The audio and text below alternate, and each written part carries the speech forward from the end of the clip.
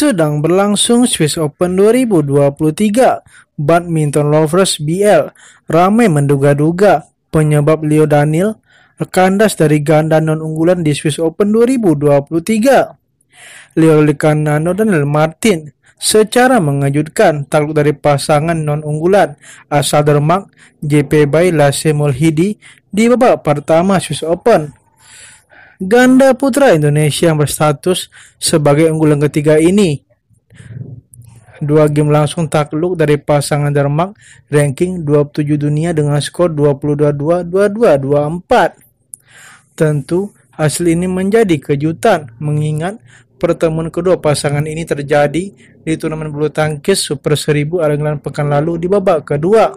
Kala itu Leo Daniel memastikan melaju ke perempat final usai menang mudah dari JP by Lassi Mulhidi dua game langsung dengan skor 21-15, 21-16.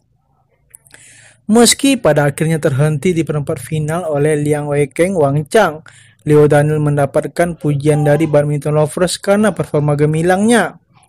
Sementara itu permainan yang kurang maksimal malah ditunjukkan Leo Daniel di Swiss Open. Sepanjang laga ganda putra ranking 11 dunia ini tampil penuh tekanan. Bak memanfaatkan keadaan performa Leo Daniel yang menurun pasangan Denmark Tantas menampilkan permainan penuh serangan.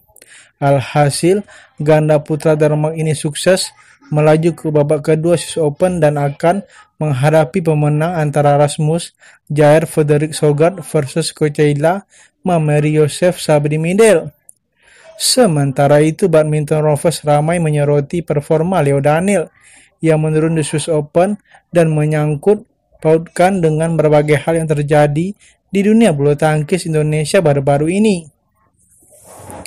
Bill menduga sebab penurunan performa Leo Daniel. Melangsir unggahan live score di WBWF, Badminton Lovers Indonesia lantas menerka-nerka penyebab Leo Daniel kandas dari JP by Lisi Mulhidi. Pasalnya JP Bailisi Mulhidi sendiri bukan pasangan yang menjadi ancaman, apalagi permainan ganda putra Denmark ini juga tidak terlalu bagus di Swiss Open. Oleh sebab itu, badminton lovers menduga Leo Daniel masih terkejut mendengar kabar sahabatnya yakni Syabda Perkasa Belawa yang wafat karena kecelakaan pada Senin. Memang sebagai atlet harus profesional, tapi kita perlu memahami hal-hal di luar teknis yang sedang mengguncang psikologis mereka. Berikan mereka ruang dan jangan menekan mereka. Gila, bayangin mereka main tapi kondisi temennya pergi nggak apa-apa, comeback stronger guys at hole. Tidak menginginkan banyak dari atlet kita. Mereka berduka, biarkan mereka berproses dan pulih setelah shock kemarin. Biarkan mereka dan Tuhan akan melakukan sisanya, kata Edri.